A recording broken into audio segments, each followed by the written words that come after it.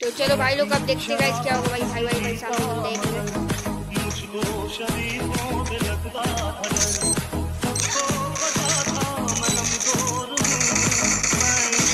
चलो, एक मिनट मारा है।